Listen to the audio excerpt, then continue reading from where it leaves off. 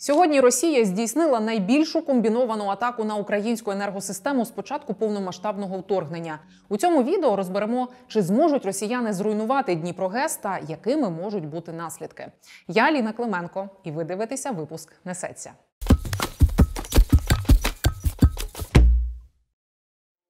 Через ранкову атаку сьогодні тимчасово були знеструмлені сотні тисяч домівок. Найбільш критичні регіони це Харківщина та Дніпропетровщина. Повідомили в Укренерго. Відновлювальні роботи відбуватимуться в кілька етапів. Спершу заживлять критичну інфраструктуру. Потім підключать світло для населення, а тоді заживлюватимуть промисловість. А ось мапа ударів по об'єктах енергоінфраструктури, і це дані станом на 11 ранку. Але чи не найбільше питань і обговорень сьогодні викликає атака на Дніпровську ГЕС? Це і зрозуміло, адже ми добре пам'ятаємо масштабні наслідки від зруйнованої росіянами Каховської ГЕС ще у червні минулого року.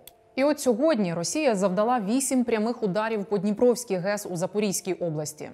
Гендиректор Укргідроелектро розповів, що попадання було зокрема в опору греблі. На станції спалахнула пожежа, її вже загасили, а рух на переїзді греблі зупинили.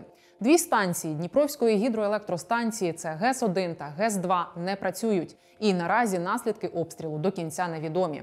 До машинної зали довгий час не було доступу через сильне задимлення. Нам потрібно 2-3 дні, щоб розібрати всі завали і добратися до обладнання, щоб зрозуміти, що відбулося, і що можливо ще відновити, а що потрібно замовляти нове, яке обладнання. Від дронів ми робили захисти і блоши трансформаторів, і обладнання.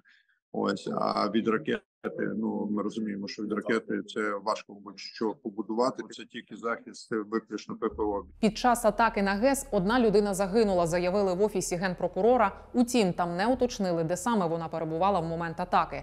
Ви бачили кадри палаючого тролейбуса на автопереїзді греблі Дніпровської ГЕС. Тож загиблий водій. Пасажирів у транспорті не було. Повідомив керівник Запорізької ОВА Федоров. І жертв серед співробітників Дніпрогес теж немає. Дніпровська ГЕС найбільша за потужністю станція в Україні. Наприклад, від неї можна заживити щонайменше 750 тисяч електрочайників. Якраз завдячуючи гідроенергетиці Україні і вдалося уникнути цієї зими блекаутів, кажуть в інституті водних проблем. А бити по ГЕС росіяни почали саме зараз, адже на греблі високий рівень води через весняне водопілля. Відтак, це пікова можливість ГЕС генерувати енергію.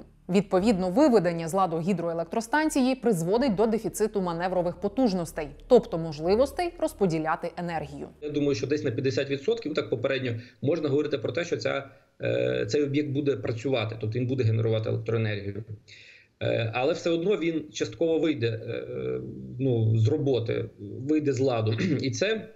І це відобразиться відобразиться от на споживачах звичайних маневрених потужностей не буде, їх не буде вистачати. Але літо, звичайно, це не зима, це не холод, більший світловий день, і в будь-якому випадку це легше, скажімо так, пережити навіть обмеження електропостачання, яке може потенційно бути. Щоб тимчасово підтримати безпечну роботу енергосистеми, залучена допомога з енергосистем Румунії, Словаччини та Польщі. Але повернімося до дамби. Загалом гребля це надміцна споруда. Просто її зруйнувати не вдасться, каже інженер-конструктор Дмитро Макагон.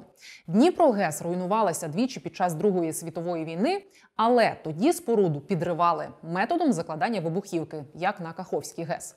Тобто для цього треба мати фізичний доступ до греблі. Наскільки зараз відомо, які є у росіян ракети, найбільше це здається Х-22, там біля тонни вибухової частини і там крилаті до 500 кілограмів. Наскільки ми знаємо, що вони не діють так, що ем, е, вони там тонуть і потім підриваються. А чому важливо саме, щоб вибух відбувався е, під водою? Тому що там е, вибухова хвиля буде більше діяти саме на споруду греблі. Утім, у 2020 році стан греблі потребував реконструкції. У споруді є тріщина, а рух для вантажівок тоді був обмежений, каже Макагон.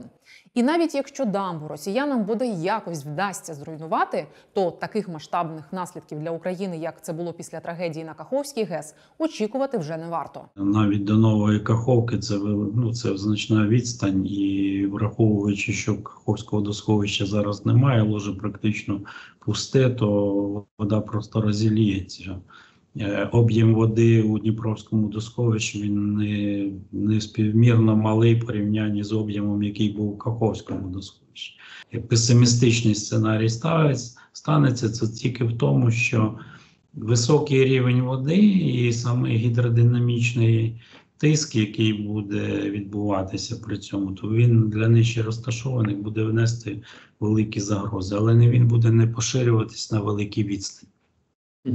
Тобто Херсонська область понизя абсолютно не відчується.